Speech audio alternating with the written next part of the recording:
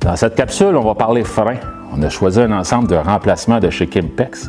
On va vous faire la démonstration comment c'est facile de faire le remplacement de plaquettes de frein vous-même. On start ça? Parmi les pièces importantes qui composent un système de frein, on a le rotor qui est ici. On a également notre étrier. On a nos plaquettes, on voit ici qui dépassent. Et puis, on va enlever en premier lieu notre clip de retenue. Et ici, on a aussi notre euh, slider pin, notre euh, pin coulissante qu'on va enlever, qu'on va glisser. La raison pourquoi on le fait cette étape-ci, c'est qu'en étant l'étrier bien en place, ça nous permet d'avoir euh, une bonne retenue pour pouvoir aller ici poinçonner avec un poinçon et faire glisser la pin.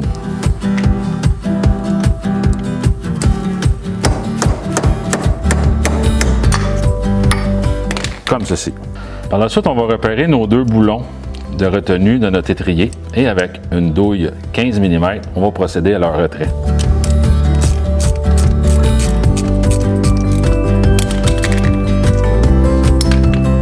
On peut utiliser l'aide d'un tournevis ou d'un levier quelconque et on procède au retrait de l'étrier.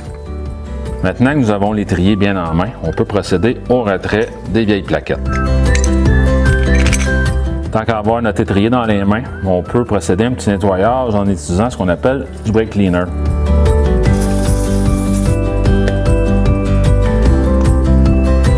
On doit enlever aussi la pression sur le piston pour pouvoir insérer les nouvelles. Moi, j'utilise des bonnes vieilles pinces Vice Grip ou bien une bonne vieille serre en C. On est maintenant rendu à l'étape d'installer une nouvelle plaquette. Comme vous remarquez, les formes sont différentes, donc on ne peut pas se tromper. On installe ici celle-là dans le fond ici, appuyé sur euh, le piston et l'autre à l'extérieur.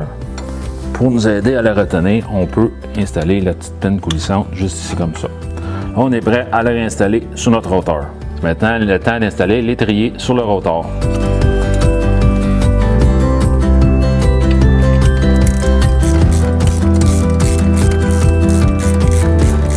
En dernier lieu, on va procéder à l'installation finale de notre pin coulissante.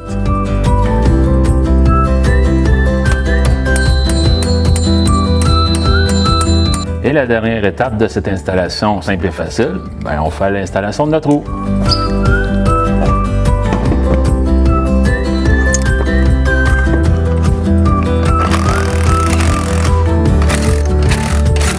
N'oubliez pas, avant d'attaquer les sentiers, pomper les freins à quelques reprises pour s'assurer que le piston reprend bien sa place.